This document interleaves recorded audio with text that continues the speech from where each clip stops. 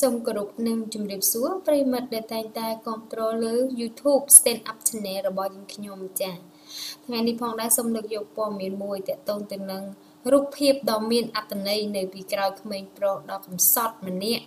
ដើរសុំទានគេកំពុងតែធ្វើឲ្យគ្រប់គ្នារំជួលចិត្តស្ទើរស្រក់ទឹកភ្នែកចា៎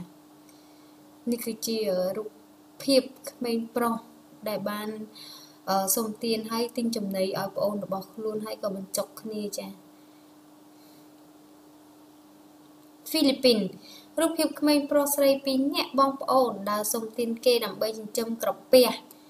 បច្ចុប្បន្នកំពុងតែទទួលបានការចាប់អារម្មណ៍យ៉ាងខ្លាំងលើ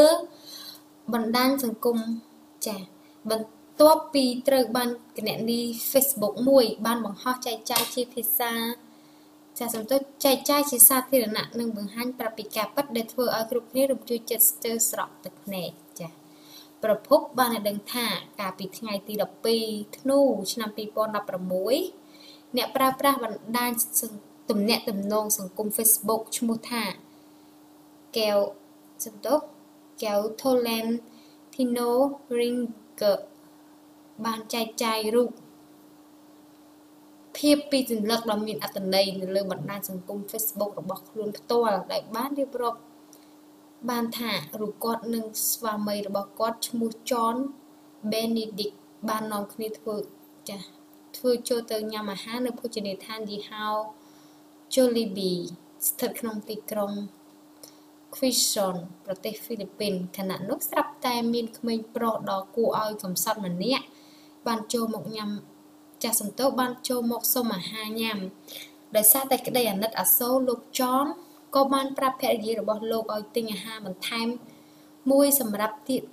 ដើម្បីឲ្យក្មេងប្រុសសុំទាននោះផងដែរចា៎ប៉ុន្តែអ្វីដែលមិននឹកស្មានដល់បន្ទាប់ពីក្មេងប្រុសអភ័ព្វនោះ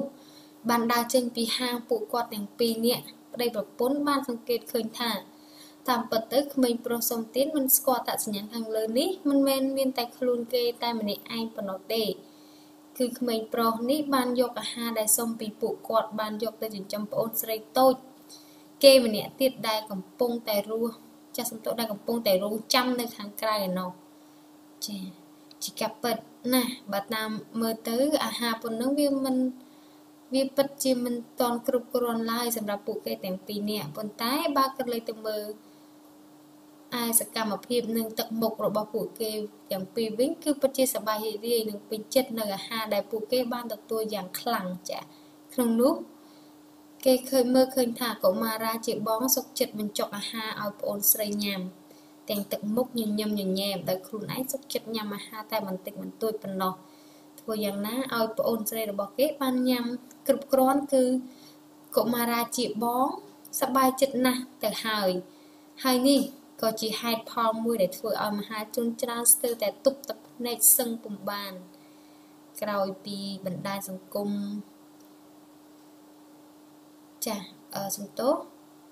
ទឹកភ្នែកសឹងពុំបានក្រោយពីបានឃើញរូបភាពពីសញ្ញាលឹកក៏ដ៏មានអត្ថន័យត្រូវបានបង្ហោះចែកចាញ់នៅលើបណ្ដាញសង្គមរួចមកចា៎ ជាពិសេសពីរអ្នកប្តីប្រពន្ធដែលមានចិត្តបុណ្យបានផ្ដល់អាហារមួយសម្រាប់ឲ្យកុមារកំសត់ទាំងពីរអ្នកនោះហើយក៏ជាអ្នកថតរូបផ្ទាល់ក្រោយពីបានឃើញទស្សនវិជ្ជាបែបនេះធ្វើឲ្យពួកគាត់ទាំងពីររំជួលចិត្តយ៉ាងខ្លាំងផងដែរចា៎តែសម្រាប់ប្រិយមិត្តវិញយល់យ៉ាងណាដែរចា៎ចំពោះរូបថតនេះយើងមើលទៅចាស់ពួកគាត់នៅក្មេងទៅតូចមែនតែនហើយគាត់សុំអាហារដើម្បី មកផ្គត់ផ្គង់ប្អូនស្រីរបស់ខ្លួនចាស់សូមអរគុណប្រិមិត្តដែលតែងតែគ្រប់គ្រងលើ YouTube set up channel របស់យើងខ្ញុំដើម្បីទទួលបានព័ត៌មានថ្មីថ្មីប្លែកប្លែកសូមជួយ subscribe like and comment ដើម្បីឲ្យយើងបាន update បន្ថែមទៀតចាស់សូមអរគុណសូមជម្រាបលា